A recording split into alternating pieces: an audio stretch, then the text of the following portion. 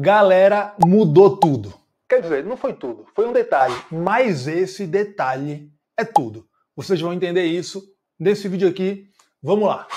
Olha só, recentemente, tá, o Supremo Tribunal Federal julgou uma ADPF, que foi a ADPF 1037, que eu já vou colocar na tela aqui para vocês, tratando sobre advocacia pública municipal. E isso aí, olha, é uma mudança completa de paradigma que vai ter muita repercussão para a administração pública dos municípios, para a advocacia pública municipal e, é claro, para os concursos de procurador de município. Olha só, o que aconteceu nessa DPF foi que o Supremo Tribunal Federal tratou novamente sobre a obrigatoriedade ou não de os municípios terem procuradorias gerais, ou seja, a criação de uma PGM é obrigatório ou não em âmbito municipal? Claro que é âmbito municipal porque é PGM. Mas enfim, os municípios são obrigados ou não a criar PGM? O STF já tinha tratado disso na ADI 6331, que foi uma ADI que questionava uma norma da Constituição do Estado de Pernambuco que obrigava os municípios a criar procuradorias gerais. E aí o STF falou: olha, essa norma é inconstitucional porque viola a autonomia municipal. Além disso, a Constituição Federal não trata da advocacia pública municipal, então a gente não pode impor a obrigação aos municípios de criar uma PGM, tá? E então a decisão sobre criar ou não PGM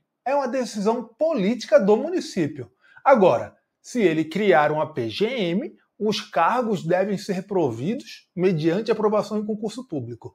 Foi isso que o STF decidiu aqui. Agora, na ADPF 1037, julgada no dia 19 de agosto de 2024, na verdade, foi uma sessão virtual que se encerrou no dia 16 de agosto, mas quando a gente tem uma sessão virtual que se encerra em um dia, a data de julgamento oficial é, a, é o primeiro dia útil seguinte. Tá? Então, o julgamento está como 19 de agosto de 2024.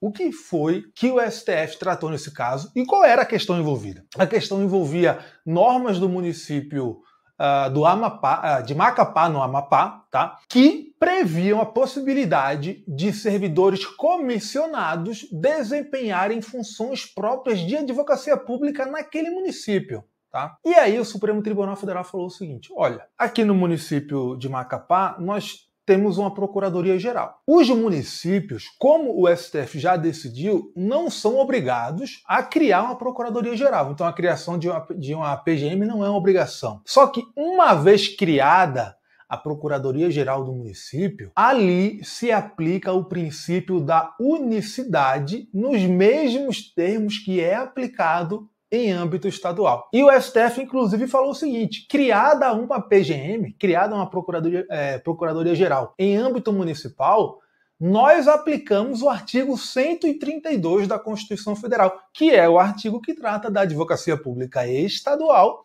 e que prevê para o âmbito estadual o princípio da unicidade.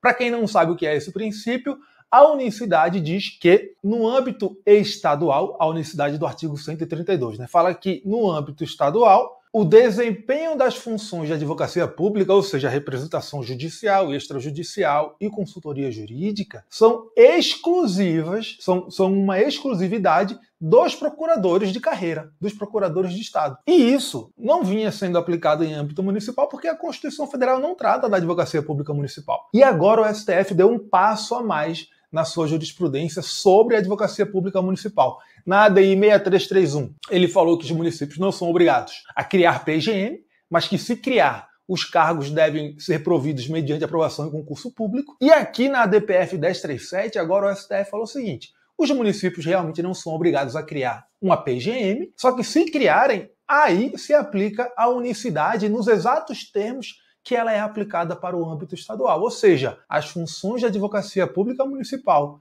uma vez criada uma PGM, são exclusividade dos procuradores do município. Não pode existir nenhuma carreira paralela à PGM em âmbito municipal quando houver uma PGM naquele município. Da mesma forma, não pode haver nenhum cargo espalhado na administração pública municipal para desempenhar as funções de advocacia pública quando houver uma PGM. Porque, havendo PGM, nós aplicamos a unicidade no âmbito municipal. Foi isso que o STF decidiu na ADPF 1037. E aí, é, quando o STF decidiu isso, ele falou: olha, a gente, se houver uma PGM no município, nós vamos aplicar a unicidade nos termos do artigo 132, inclusive é, no que diz respeito às exceções a essa unicidade. E quais são as exceções à unicidade que é reconhecida pelo STF e pela Constituição Federal? Né? Primeiro, tem o artigo 69 do ADCT, que fala que é possível a existência de carreira paralela à Procuradoria-Geral quando essa carreira paralela já existia antes da Constituição de 88. Só que daí essa carreira paralela pode desempenhar apenas funções de consultoria jurídica tá? não representação judicial. E ela se torna uma carreira em extinção, segundo o STF, e essas funções de consultoria jurídica devem ser supervisionadas pelo Procurador-Geral. É, no caso de um Estado, pelo Procurador-Geral do Estado,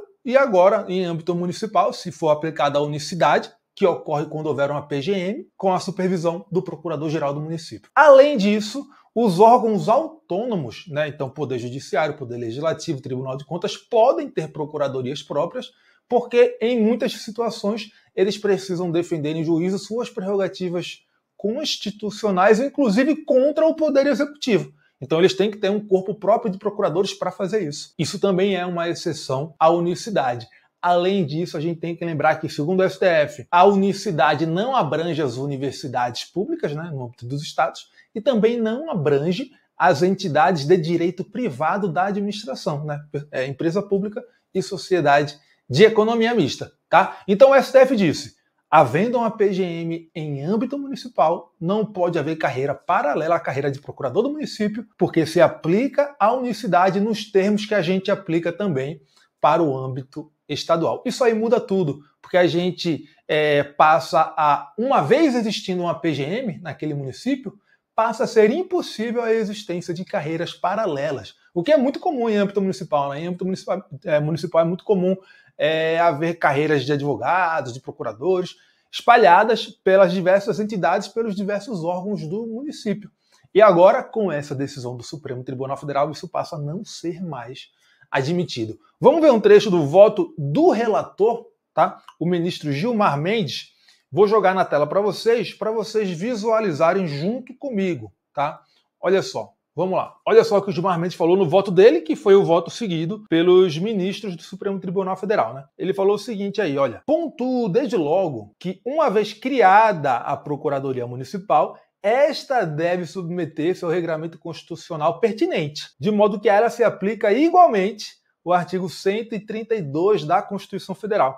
Ou seja, embora não seja obrigatória a sua criação, sendo instituída a Procuradoria Municipal, a observância do regramento constitucional da advocacia pública mostra-se imperativa, notadamente a unicidade institucional. E aí, seguindo, o Gilmar Mendes falou o seguinte ainda no seu voto, que está na tela para vocês, olha aí. Com efeito, este tribunal tem reiteradamente afirmado que o princípio da unicidade de representação dos Estados, esculpido no artigo 132 da Constituição, encontra exceção apenas quanto aos cargos ou carreiras já existentes quando da promulgação da Constituição Federal, que está previsto no artigo 69 do ADCT, ou para a defesa de órgãos com autonomia institucional, né, como Poder Legislativo, Tribunal de Contas, Poder Judiciário, que possam ter interesse diverso do Poder Executivo. Aqui o, o Gilmar Mendes não falou ah, da possibilidade de universidade ter procuradoria própria, né? E das entidades privadas da administração também terem o corpo próprio de advogados. Né? Mas isso aí também vai se aplicar em âmbito municipal. Tá? Então é isso, galera. A gente tem aí uma mudança completa de paradigma para a advocacia pública. Tá? Essa, a, a unicidade é uma conquista tá? da advocacia pública, porque isso faz com que a carreira se torne mais forte e faz com que a própria administração pública passe a ter mais segurança jurídica. E foi por isso que foi criada a unicidade para o âmbito estadual na Constituição de 88. Antes de 88, as funções de advocacia pública no âmbito dos estados eram espalhadas pelos órgãos, pelas entidades, e o que acontecia muitas vezes era que em um mesmo estado a administração pública tinha uma orientação jurídica em um órgão e na mesma matéria tinha outra orientação jurídica em outro órgão. E aí isso motivou a criação da unicidade no âmbito da advocacia pública estadual, de modo a unificar a orientação jurídica no estado e evitar esse cenário aí de insegurança jurídica. Então, com a unicidade, o poder público tem a ganhar e a própria carreira também da advocacia pública tem a ganhar. É uma notícia muito boa, tá? Claro que tem algumas repercussões, né? Muita gente veio perguntar: nossa, o que vai acontecer agora com quem já era procurador autárquico em âmbito municipal? É o que vai acontecer com os comissionados e por aí vai. Muita gente me mandou diferentes questionamentos. Eu não vou responder tudo aqui nesse vídeo porque vai ficar um vídeo muito longo, não é esse o objetivo. Mas eu vou postar outros vídeos respondendo tudo isso que me perguntaram. É só vocês acompanharem aqui no canal, tá? Inclusive, se você não está inscrito ainda no nosso canal aqui, se inscreve, ativa as notificações para saber quando a gente postar coisa nova e aproveita para deixar o like aqui nesse vídeo se você curtiu, beleza? É isso aí. Valeu, meus amigos, e até a próxima.